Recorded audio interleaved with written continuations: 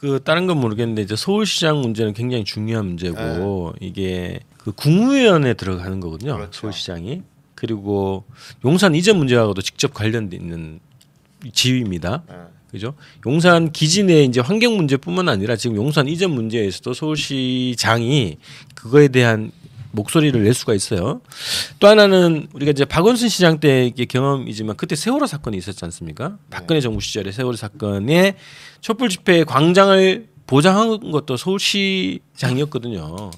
그런 것처럼 굉장히 우리가 촛불 어, 국민들의 장을 만들어주는 데서 서울시장 역할이 굉장히 중요하다 이런 겁니다. 그래서 복합적으로 의미가 있는 건데 저는 민주당 후보로는 안 된다고 봅니다. 시민 후보가 돼야 된다고 보는 거예요. 아? 민주당을 포괄하는 어. 시민 후보가 나서서 시민들이 오세훈과 싸우는 구도로 가야 된다는 오케이, 거죠. 오케이, 좋네요. 어, 여기 의견 내시는 분이 있는데요. 있어요? 진보 시민연대에서 딱 한 명 내잖아요.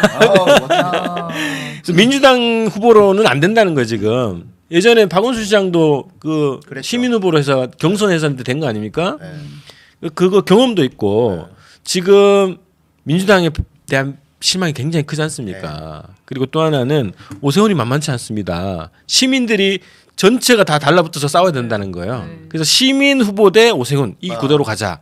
그리고 대, 선대위도 시민 선대위 이런 구도로 가자는 게 제 고민이에요. 근데 사실은 그만한 인물이 있느냐라는 거예요. 그렇죠. 근데 이제 시민들이 만약에 그걸 추대를 한다거나 뭐 이렇게 한다면 과거에 박원순 시장 같은 경우에는 참여연대에서 활동했던 그, 그 시민단체에서 활동했던 그 아우라가 네. 그 파괴력이 좀 있었단 말이에요. 그런데 지금 과연 그만한 인물이 강진구 안진걸 이상호 추천하신데요.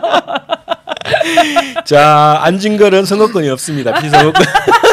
선거법 때문에 선거권이 없어요.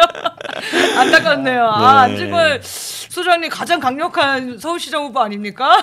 아니 그래서 이게 우리가 자- 만들어내야 되는 거예요 그것도 네. 근데 이제 기본 개념은 그렇다는 거거든요 그래서 그런 선거를 이제 앞으로 치르자는 거예요 저는 이번 대선 보면서 그런 생각이 많이 들었는데 네. 촛불 시민들이 이- 이 만큼 만들어낸 거 아닙니까? 그 열세 상황에서도 후보랑 같이 만들어낸 거죠.